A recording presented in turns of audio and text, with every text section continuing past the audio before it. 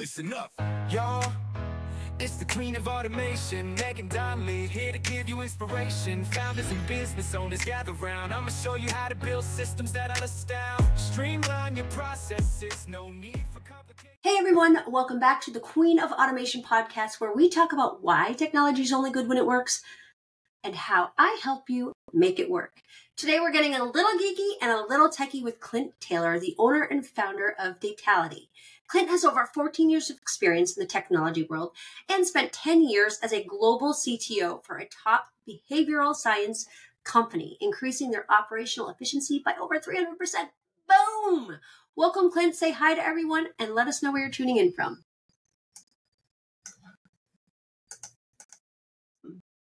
All right. I'm I'm here from uh, Portsmouth, New Hampshire, which uh, is a state. It's uh, it's about 45 minutes north of Boston on the seacoast. Oh my God, that is so funny. How have we not had this conversation? I grew up in Vermont. No way. I love 20 it. years. I was born and raised in Brattleboro, Vermont. And I bet fun. you are probably one of the only people that I can say that name to and go, "Yeah, I know where that is. I, I I know about where that is. Yeah. I, I don't understand how people think that New Hampshire and Vermont are not states. Like where where did you where did you go to school? Like it, it's it's clearly on the map. Come on, people. Exactly. Anyway, we don't have to get into that.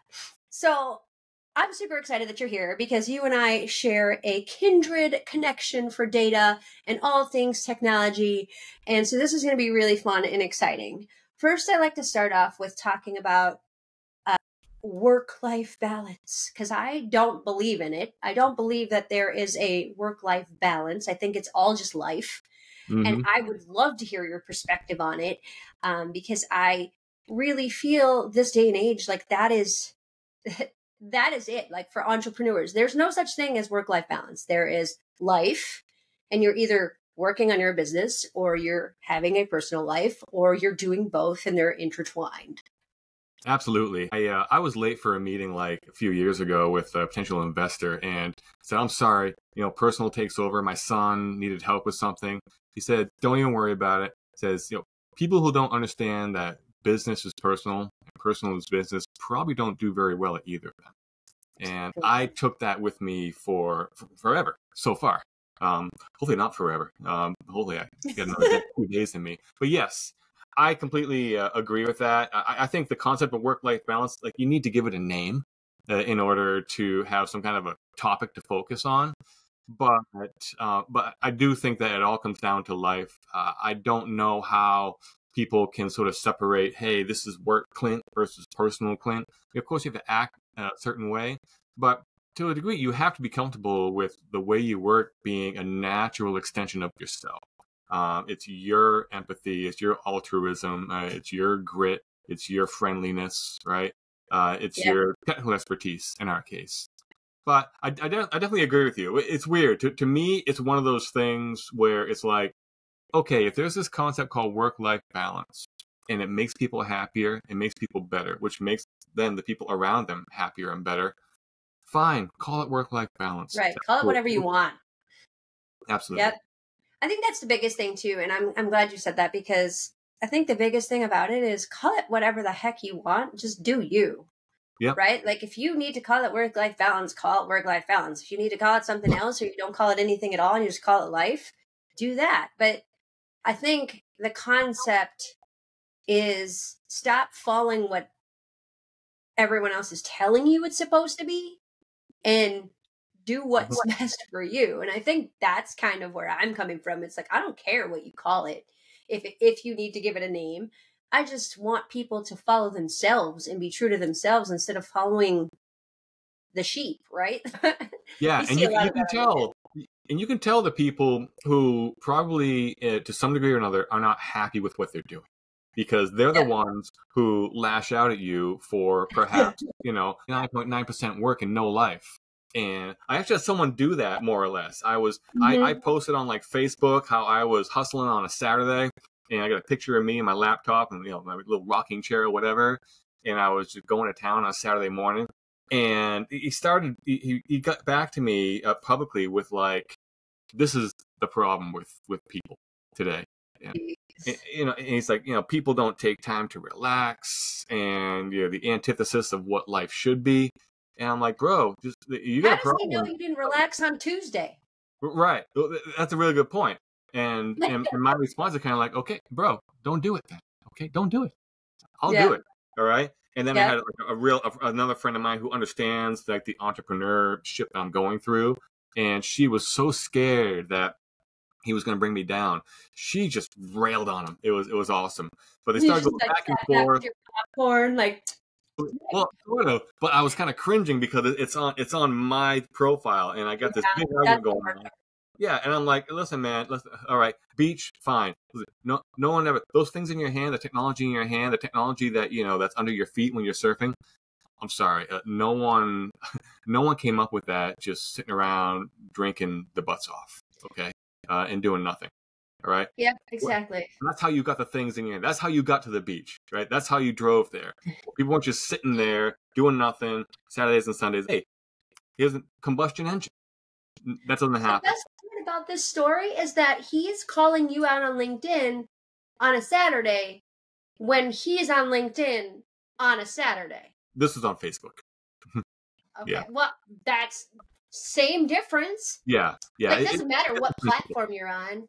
So Totally. for anybody who's listening out there, I mean, we talk about this stuff all the time, and anybody who's in my network knows I talk about this all the time.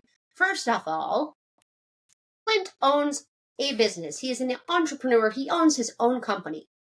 His weekend could be Tuesday and Wednesday. It could be Monday and Tuesday. It could be Thursday and Friday. It could be Thursday and Sunday. It could be whatever frickin' days he wants.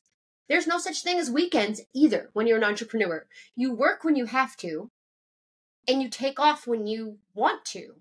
The whole Mhm. point of building a business and being an entrepreneur is to work when and where you want, with who you want, and you get to pick and choose if you want to work from the beach on a Saturday. Like, that's just ridiculous to me. Like, if you're not doing that, how is that our fault? Like, don't call us out because we're living the life. Like, the whole point is to build a life that you love, and that includes work because you have to eat which Mhm. means people have to pay you money. you know, there's all these things like money is a tool, but good lord, that's funny to me. yeah, yeah. story. And honestly, since we're on that su- that subject, it's to me, it's akin to like if you're telling your friends, you know, you're out of the bar or whatever restaurant, you're telling them what you're doing. Yeah, I'm working on this and uh, spending all night, all weekend, you know, working on my startup. I'm programming this and I'm calling people at night, nine, ten at night, and and the response sometimes is not it's not snarky, but it, it's defensive, but doesn't mean to be. It's like that's crazy. You are crazy, man. And it's like I, I don't I, I don't harp on it, but to a degree internally, I'm like, don't say that. All right. By saying Yeah, that, you're giving no yourself, you're giving yourself an excuse uh, to back out of you doing it yourself, right? You're like actually making an excuse for yourself, saying that uh, that is crazy. Therefore, I am not going to do that. No, just understand that you could do this if you wanted to. You could succeed this way if you wanted to. And just say that you don't want to. But don't call someone else crazy and don't make it look like they're a lunatic for working, you know, uh, 70, 80 hours a week to fulfill their dreams for what chemical or whatever past traumatic, whatever reason they have. Let them do it and just, just accept the new tech that they create for you. Accept, you know, the new engineering they create for you because they're doing it. All right. And just, just walk away and smile. It's so great because I love listening to you tell these stories because, first of all, I thankfully get to interact with Clint in one of our favorite networking groups, Brand Built. We're just going to shout them out because they're awesome.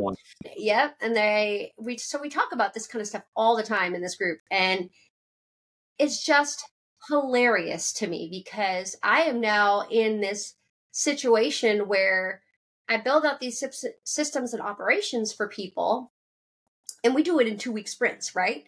Mhm. So it's like we're hustling and we're working all the time for two weeks, and then guess what I get to do? I to take as many weeks off as I want because that person just paid me five plus figures Mhm. for one project. That's how you live, and you get to choose. Do I hustle for two weeks for a little bit m- m- b- more, like more hours? Absolutely. And then I take two weeks off and I have conversations like this, and I run podcasts, and I pick on the people in the networking group, and I have meme wars, and I take my kids to Great America. We go to the beach. We... Why would I choose to sit at a cubicle in an office in corporate America, nine to five, eight to five, whatever it is, every day. And I have to request my time off. And I have to, instead of choosing my own schedule, Mm-hmm. my schedule is what I want it to be. Yeah, and, and and the thing is, the cubicle is okay for the right people, and Yep. and that is one Absolutely. thing that I try to tell. I try to tell people in my my past life, previous employment. Yep. Listen, some people just want to leave at five and go coach the little league team, and that is fine. Exactly. Let them do it, right? But don't go push them to be something that you know they're not going to be, right? Yep. And they like they like not having the responsibility of being the boss. They like not having the responsibility of doing the math and figuring out the bills. And they just want to go to their job and then go home. And they want to go to their mm-hmm. job and go home. And that's just and that's fine. That's so fine. They're doing what's right for them, but then they need to leave you alone because you're doing what's right for you and what Mhm. you want to do. I Totally. don't know. The whole thing is crazy to me because there's is there's just so such a broad spectrum of people, right? And and they're all out there and they just are arguing with each other like about what is the best way. There is no right way. You have to do what works for you. Mhm. Ignore all the crap and just do you. Like it's not that hard. Just figure out what you want. Absolutely. So let's get let's get a little nerdy because I'm super excited to hear the datality story. um, and obviously, please, please give a little intro from your background. Um, but I'm I'm so excited to talk about datality because it is such a cool product. But I'm going to let you tell the story, and I'm going to let you pimp it out and tell everybody all about it. Um, but I want to know, for me, I of course want to know about the geeky operations side of the business and what you're kind of what you're running on. Like, uh, what platforms are you running on? How are you getting customers? All of the geeky kind of operations and systems and processes that make you We'll definitely get right? to that. Yeah, absolutely. Um, so I've been creating enterprise tech stacks for 25 years, um, which shows my age. And so, uh, like you said, I was a CTO and market research for 10 years. I co-invented a technology that quantifies the subconscious drivers of human behavior. And we launched it in- now say that again in layman's terms for people who don't know what we're talking about. we we we associate the um, the emotions that are evoked when you're looking at a brand or a product. By- Bingo! yeah. Hey, uh, guys out there who's listening, guys, girls, peoples, humans, remember how people are talking about building a brand or you're talking about building a business and they tell you it's all about emotion? It's all about emotion. Listen to Clint. He's going to tell you why. It's all about Yeah. emotion. It's definitely mostly about emotion. The problem is you can't you can't consciously detect it, and that is the big problem. You have to you can't ask people what they feel. You have to run them through uh, exercises and detect how they feel. But anyway, that's that's my past life. The point is we were sitting on fine. Yeah so so, so we co-invent, co-invented this um, and rolled it out 2013 2014 and we're sitting on like half a billion points of data over the course of you know eight or nine years and a lot of that data we owned a lot of that data we used internally and basically i was like why is there no effective ebay for research data out there like we're not going to go create like a shopify storefront and sell our data that's not our brand right um, and and we're not going to create a SaaS dashboard. That's not what we do. We do research, you know. And so the more I looked into it, the economics of it, the more I got a lot of head nods in the industry. And, it's, it's like it's like 140 billion dollar industry market research, Yep. but it's like the same 200 people. It's it's weird. Um, it's very kind of incestuous. You see, you see the same 200 people at every event. ZoomInfo. Yeah, yeah, and everybody's like, "Yeah, there's a need for this. I don't know why it hasn't been done yet." And so it, that's a little bit scary. Where it's like, okay, it's like, what am I missing? All right, if it hasn't been done yet, what am I missing? I effectively, you know, cut to the cut to now. I created it. I created this marketplace that was actually built on blockchain, way down deep, but it is economically effectively an eBay for research data. It's like a Craigslist for Yeah. expert collected research data. Now there are other options out there where it's more of a white glove approach, where you know you're talking to a, a business development representative, you're talking to an account manager, and they're going to help you find that data, and they're going to use their researchers and get that data for you. But you know when we talk about to the nature of your podcast, right? Automation, we automate the monetization of expertly collected data. That's what we do because that's what we had in my previous life, and we couldn't really monetize it very easily. Um, so we we automate the monetization of it um, which then automates the acquisition of it. uh, by making both faster and cheaper. And so, if you want to engage, you want to monetize your data right now, you're either pivoting your tech really hard, or you're going to pay like you know forty, fifty thousand dollars uh, in order to do it. Uh, on the on the on the uh, on the buy side, you're going to pay like you're going to do the same. Like you're going to pay forty, fifty thousand dollars to get someone on the phone, or you're going to pivot your tech to you know to work with Snowflake or AWS. And I'm like, why can't people just post files? Just post CSVs, post Excel files. And so, I mean, automation in this case, it means we're saving people time, which on both sides of a transaction for data in data markets, it it means saving money, which allows Huge. more participants in the market because the barriers have been lowered. Right? It's no longer I need to spend, you know, twenty, forty thousand dollars to engage in selling my data. I can do it in ten minutes, right? And and if I put a title, I put a description on it, I tag it, I provide a sample to show you the structure, and there's more to it that I'll tell you. But what it becomes is a flywheel effect. So yep. the more supply out there, it begets more uh, buyers because they see, wow, there's opportunity here. then the more people that buy, the more attractive it is for the sellers out there because they see how much money's flowing through here. And ideally, we do things right. We get that critical mass. We activate this phenomenon called network effects, which you know, just the sheer number of of participants on both sides of the transaction become make the other side more attractive and they go like this and this and this right mm-hmm. um, same as airbnb same as uber right um, you can't have uber without drivers can't have airbnb without places to stay but in both cases you know they had you had someone who had something of value um, airbnb it's i have this space you know uber i have yep. i have a vehicle and time right um, in this case we're talking about latent asset data that, that expert researchers have on the books. They use it for another purpose, but it's sitting there back of the warehouse per se, just collecting dust and decaying and losing value. We we made it easy for people to post and sell. I'm going to jump in for a second because yes. I want to for the people like because I geek out on all of this stuff. Like I said, I geek out listening to you talk because I love all of this stuff. Like it's just so exciting to me. Data, first off, is ungodly expensive. It's just ungodly expensive. And like you said, there's only like a handful of people doing it, and they're making so much money off selling data.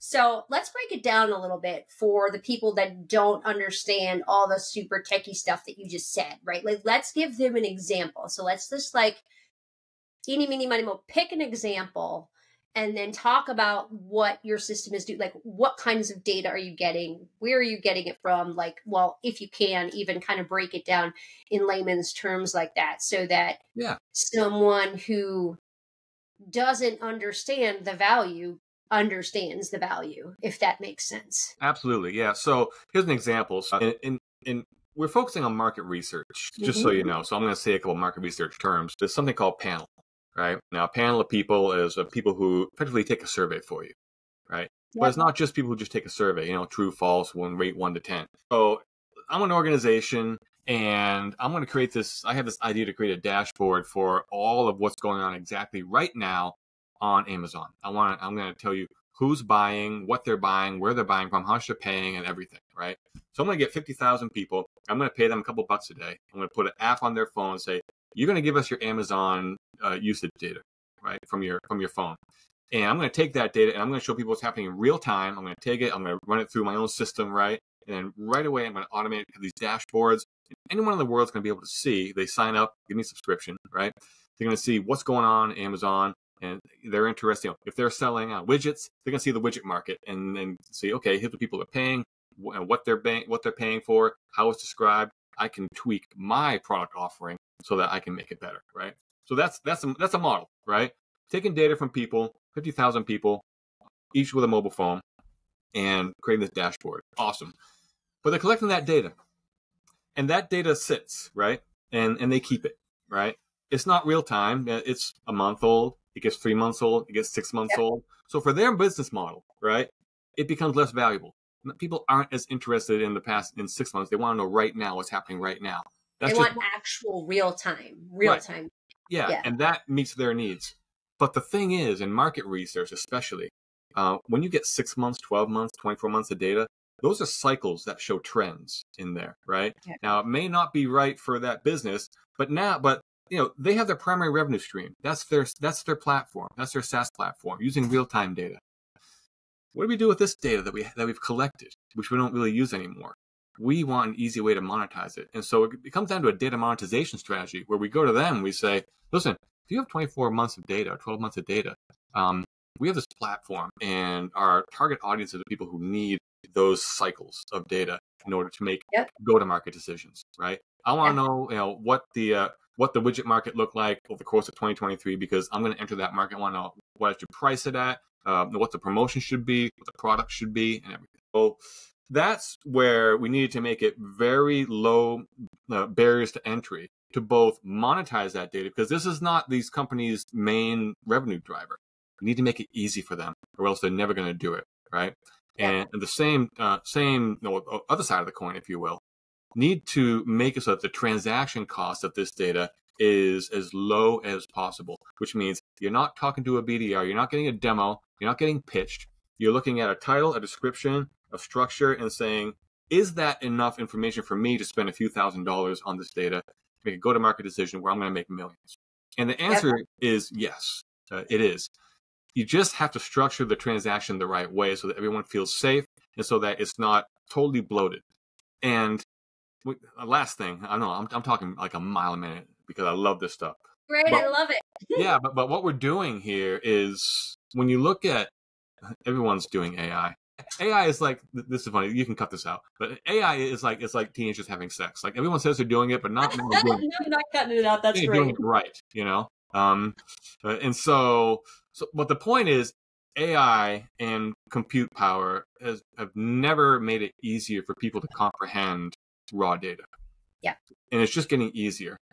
That means you don't need a white glove approach all the time, right? That market is widening. Uh, the Yep. people who need assistance and the people who don't, because AI is there to help them, right? Yep. They can get this raw data, and we want to be there for them to just transact the data, not pay the overhead, not pay fifty thousand dollars, not subscribe for twelve months because that's the only way that you know uh, yeah, these companies, the the oligopoly, can make money off you is if you commit for a high ticket or a long commitment. We want to flip it on its head, offer this data to millions in a way that is very efficient, and we make a living, and they get the data that they could not have acquired before. And the sellers get to monetize their data in a way that doesn't uh, sit at the back of their warehouse, if you will. I'm so excited that you chose Amazon as the um as the example because I have a love hate relationship with Amazon, which anyone from the technology world does because Amazon is Amazon. Their user experience is like the worst user experience in the entire world. Their UI is horrible, but yet they offer two day free shipping. So I'm ordering from Amazon, even though I hate shopping on their website, right? Like, whatever. But I'm so happy that you chose that example and then chose to talk about trending data because for everybody who maybe isn't a big business owner who is just starting out, or for anyone who's just a smaller business owner, trending data. I'm just going to say this one time. Maybe I'll say it a few times because I'm just going to repeat it. So you really get it in your head. Trending data is so much more important to your business than what's happening two seconds from now, two seconds before. The Mhm. last three months, the last six months, the last 12 months, the stories the data tells on trending data to help you actually create a strategic decision for your business is so much better than if you're looking at the past 14 days or the past 30 days. Who cares? You need to look farther out because if you're making decisions on the past seven days, that's a really bad idea if you are looking to sustainably grow your business. And anyway, I just wanted to throw that out there because that is an amazing example. And Amazon's a really great example because there's so many people out there right now that are selling on Amazon. I mean, the the F, what is it? F.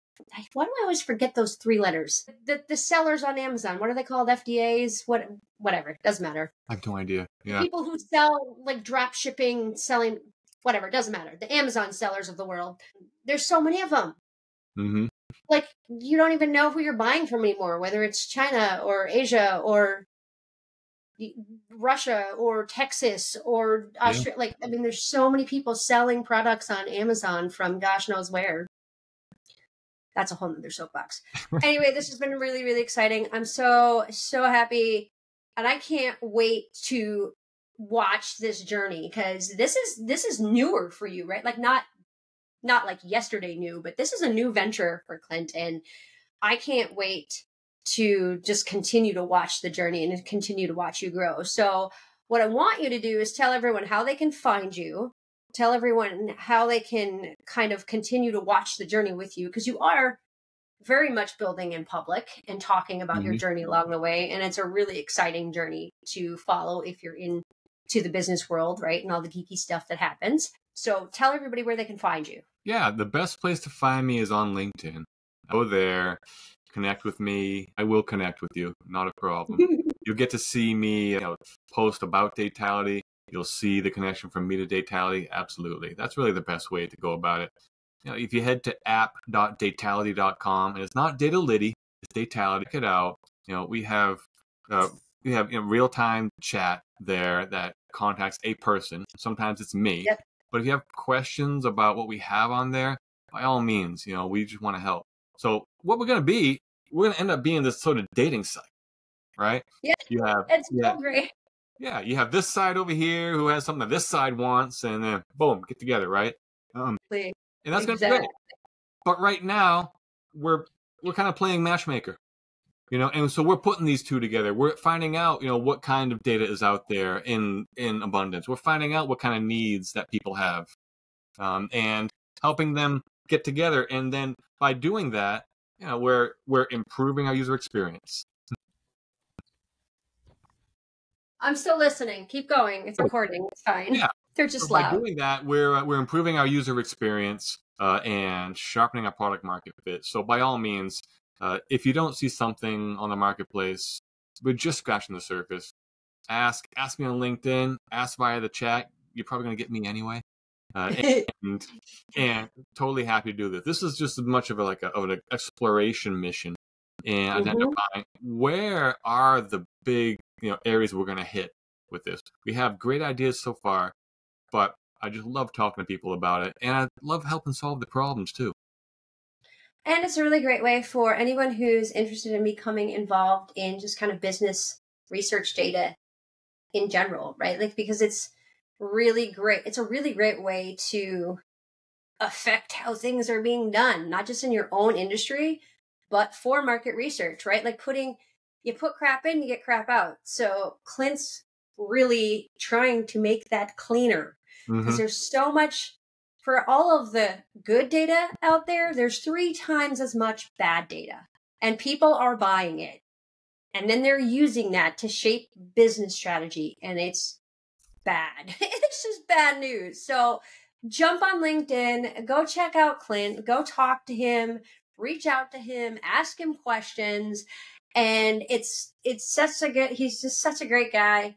I'm so excited. Thank you. I'm really glad that you were able to jump on today.